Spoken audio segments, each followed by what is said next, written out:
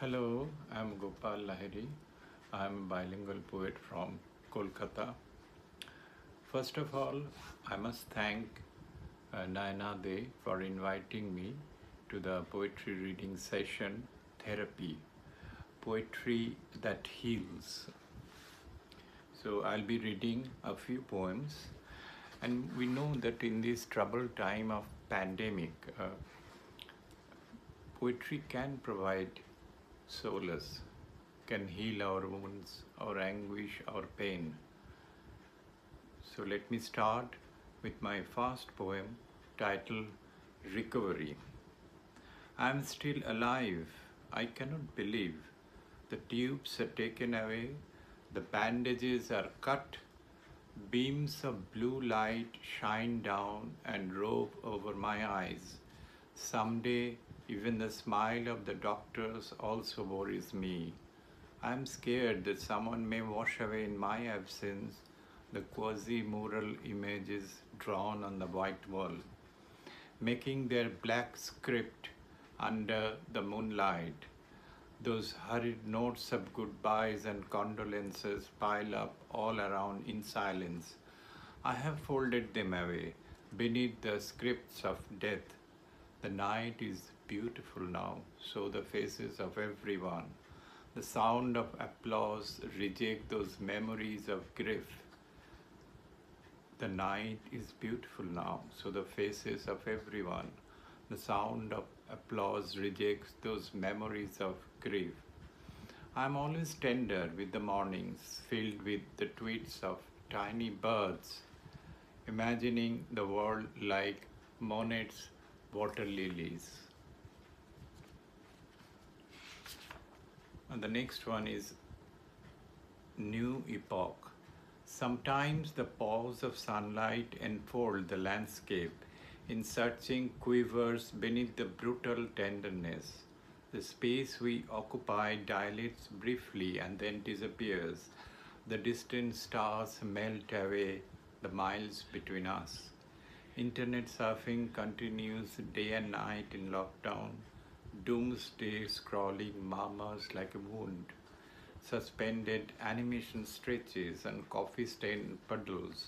Blissful minutes tremor behind the screen. Death hustle down lane up narrow stairways. Bodies are frozen solid. Dark those sorrows. Hot spot are out of the strip, knocking dozens of doors. World is tumbling into a new epoch. Dream slip on the caregiver's palms of his pondering to flatten the proverbial curve. The next one title is New Normal and I. Old order changes yielding place to new. Old order is ready for departure. Masked women, men, children stand apart on the pavement. A monster virus changes our life. So far, so near the new normal. I can notice. I can notice a spot of grass riffling amid the concrete. An unknown creature is chewing on roots. Critters rustle in the bushes in light rain. I am a superhero of senses in, exile. Feel the screen, feel the love in your eyes. Listen only to your phone chirps. Late night whispers, I am numb to the outside world. I cannot touch you, I cannot smell your presence. My vision blurs, my mind dies. Here I am alive in isolation, breathing in soulless life, waiting for a new world. If I could, I would draw the smiles on wings spread. The title of the poem is Dreams. If I could, I would draw the smiles on wings spread. The evening is casting quivering shadows on the clinic wall. We are all perhaps going to die. The wind is still, the stars pledge to be reborn. Only a half moon waiting for its unsuspecting prey remain suspended in mid-sky.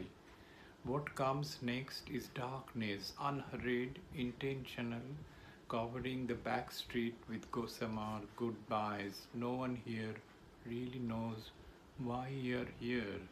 How grief and holiness refuse to flutter in the wind, imagining the night birds carry breaths on their tiny, tiny lips, filling up lungs, rewrite the death certificate.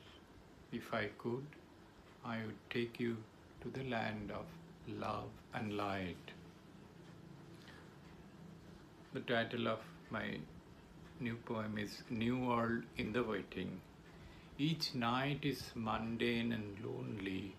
Night birds spread their wings. The moment I am looking for is buried beneath the black soil.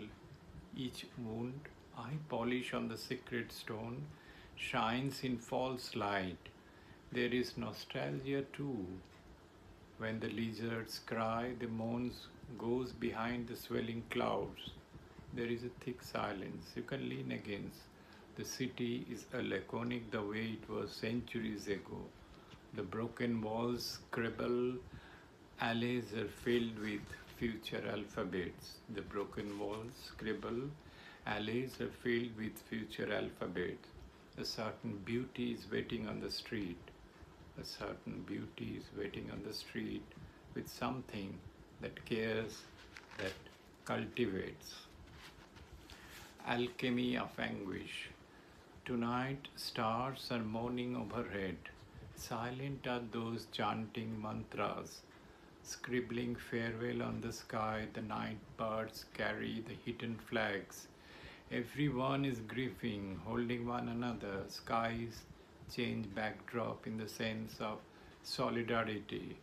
Despite the sorrow in the midst of sorrow, the light still radiates from dreaming. Every evening, I lean out from the window, join in the bells and whistles, claps and clangs. Minutes break into seconds. Minutes break into seconds. I take comfort in unity and cry for all of us.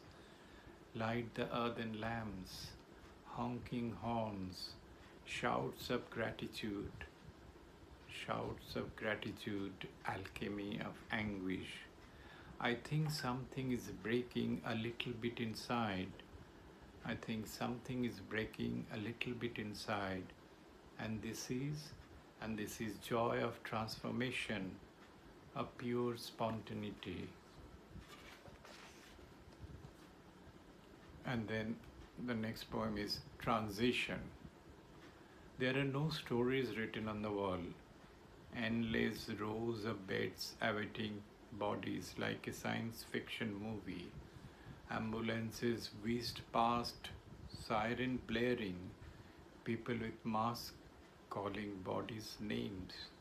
No sign of crowd, no car, no windswept trash, long stretches of vacant concrete. Every musical note, even the abstract, holds its silence. A few lovers slink along hunch over and avert their eyes. The city empties out, the skyline dims. The world not be the same without those who built it. There are no stories written on wall.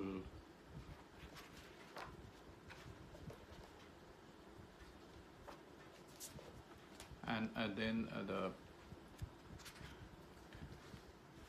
the last two poems I'll read, very short. Holy water, the evening lights, the lamp of redemption on the muddy river bank. Bathing hearts are drawn in shining colors. Worshippers and devotees chanting mantras to the tune of hymn and harmony, holding their heads up against the smoke swept sky. The clouds and the night birds make a noting answering God's call. Amidst the blowing of conches, the rituals and prayers continue in phases. I close my eyes and feel the eerie silence inside. I close my eyes and feel the eerie silence inside. Holy water wets my feet and God's room. A cold wind blows over Chanting mantras go around, reverberate, the melody sounds medieval. I stand motionless, not knowing these calls and answers. Someone lights up the stone lamps, blows the conch shell. Outside, the moon is full and bright, shining over the tulsi plant on the courtyard. Spoken voices now deep in silence. Thank you very much.